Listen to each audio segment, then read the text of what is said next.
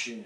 All right, so second playlist we're going to do, this is going to be on basic drills. We'll get into advanced, more intermediate and advanced drills down the road, but here's a basic drills template and what we're going to be doing, okay? Here's the focus. I'm not going to go through drills right now, but I'm going to go through the explanation of how this will work with each drill. You take the drills that you believe are going to be applicable to what it is you have going on, okay? To start off, you're going to drill. Okay, you're going to figure out it. You're going to do a drill, pick a drill, do the drill. Secondly, take your smartphone and go download a metronome onto either your iPhone or your whatever smartphone you have. If you don't have that, you can go get a metronome off of Amazon for like 20 bucks. You can find them for free uh, as an app on any of the smartphone uh, apps. So with that said, you're going to take your cadence and we're going to start week one, and we'll get into this in a second. We'll start with a 94 to 96 cadence, okay? So you'll set that. That's one foot being pulled up on that 94 to 96, not two feet. Secondly, somewhere between 30 seconds and one minute, you will run at that cadence after you've done a drill. You will repeat that four times. So you will drill, run at that for 30 seconds to one minute, Repeat it four times, okay? Then you'll do another drill. Choose another drill.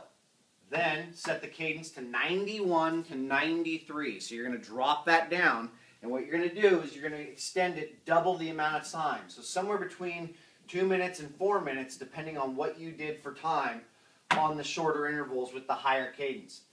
The, the objective here is the ability to handle this type of cadence for this longer extended period of time. Okay?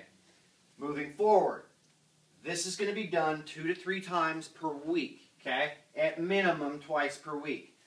Secondly, use this before any running workout, including a long run or even just your intervals. Okay?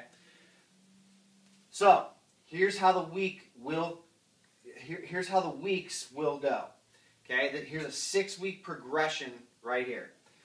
And, and this will all be based on this, the, the faster cadence here, and this will slightly increase. So you can go and I'll, I'll mark that up right here, where you can take this.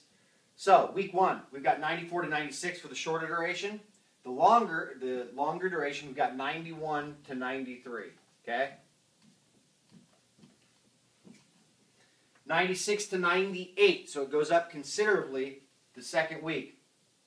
Okay, so this will go up 93 to basically 95. Anywhere in between there.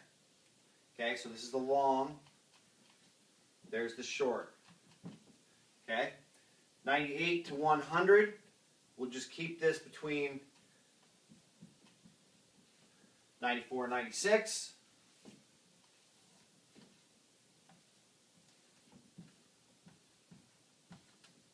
98 and just remain 96 to 98 for the remainder of the, the time. So for weeks 4, 5, and 6, the longer duration would still stay at that 96 to 98. You really don't need to be too much higher than that when you're running at, let's say, 5 minute mile pace or even 6 minute mile pace. It's just not conducive to what's going on. So, with that said, this is the progression here's what we're going to follow. This is the template for what you're going to follow, and we'll continue to put out all the basic drills. We'll go into intermediate drills after that, and then the advanced drills. Enjoy.